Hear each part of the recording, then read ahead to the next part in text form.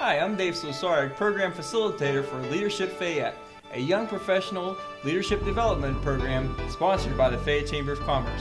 This is your leadership moment. Today, let's talk about Oprah Winfrey. You know her as one of the most powerful and influential leaders in the world today. However, did you know she was raised in rural Mississippi as a member of a dysfunctional family? She was raised by her grandmother until she was six years old. But this non traditional background didn't prevent Oprah from learning to read at an early age. She moved to inner city Milwaukee as a teen where she faced even more adversity.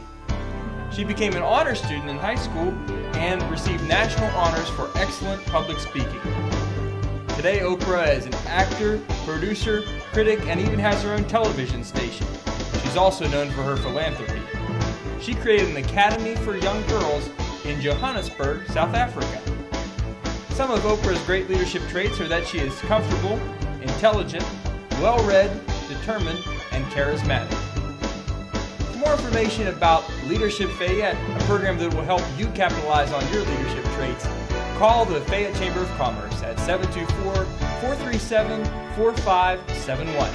I'm Dave Slosarek, and this has been your Leadership Moment.